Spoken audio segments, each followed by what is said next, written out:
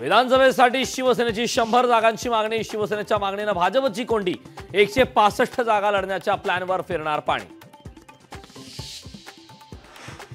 जरांग्यांच्या उपोषणाविरोधात OBC उपोषण करणार जरांग्यांच्या आंदोलनाला ओबीसी समाज आंदोलनानंच देणार उत्तर. बारामतीतून फोन आल्यानं ओबीसी बैठकीवर बहिष्कार पवारांचे फक्त मागून सल्ले महाराष्ट्र पेटवण्याचे उद्योग बारामतीतून. भुजबळांचा शरद पवारांवर आरोप. भुजबळांकडे फोन केल्याचा पुरावा आहे का? भुजबळांनी शरद पवार यांच्यावर केलेल्या आरोपांवर सुप्रिया सुळेंचा सवाल. शरद पवारानंतर अजित पवारांचे पावसात भाषण अजितदारांचं पावसातील भाषण राजकारणाची दिशा बदलणार का? याकडे महाराष्ट्राचं लक्ष. विधानसभेत महायुतीला निवडून दिलं तर योजना पुढे सुरू राहतील. काही हौसे नवसे गवसे येतील. काहीही सांगण्याचा प्रयत्न करतील. अजित पवार यांची विरोधकांवर टीका.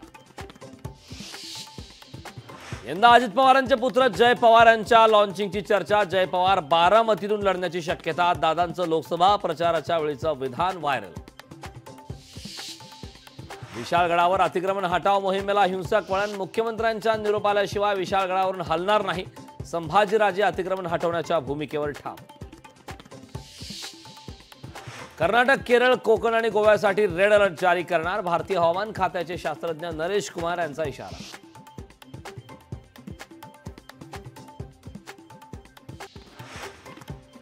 विधानसभा अध्यक्ष राहुल नार्वेकर यांनी घेतली नाखवा कुटुंबियाची भेट. वरळी हिट अँड रन प्रकरणात कावेरी नाखवा महिलेचा झाला होता मृत्यू.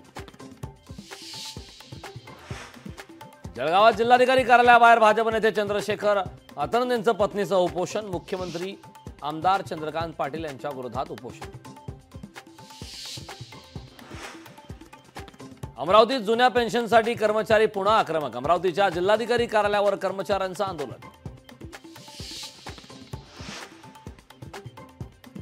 यवतमाळमध्ये पीक विमा काढण्यासाठी सोमवार अखेरचा दिवस. शेतकऱ्यांनी विमा काढण्याचं जिल्हाधिकाऱ्यांना आवाहन.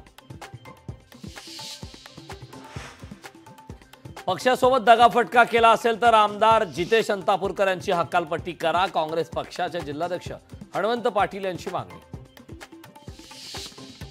राजकीय हिंसेला लोकशाहीत स्थान नाही डोनाल्ड ट्रम्प यांच्या जीवघेणा हल्ल्यावर नाटो प्रमुखांचा निषेध. उत्तर प्रदेशात पावसामुळे शेतकऱ्यांना दिलासा. उत्तर प्रदेशमध्ये धानाच्या लागवडीला वेग. कल्याणमध्ये मुसळधार पावसाची हजेरी. पावसामुळे उल्हास नदीच्या पाणी पातळीत वाढ. कल्याण नगर मार्गावरील रायता पूल वाहतुकीसाठी बंद. यवतमाळमध्ये पावसाचे तुफान बॅटिंग. पावसामुळे नागरिकांशी मात्र तारांबळ. बुलढाण्यातील शेगावात उभारलं प्रशस्त वाहनतळ वाहतूक कोंडी कमी करण्यासाठी शेगाव संस्थांचा उपक्रम. रत्नागिरीतील खेड तालुक्यात जोरदार पावसाची हजेरी पावसामुळे खेड मार्केट परिसरात शिरलं जगबुडी नदीचं पाणी. टॉप ट्वेंटी फाय नंतर आता लोकशाही मराठी. ऐका पहा जागरूक रहा.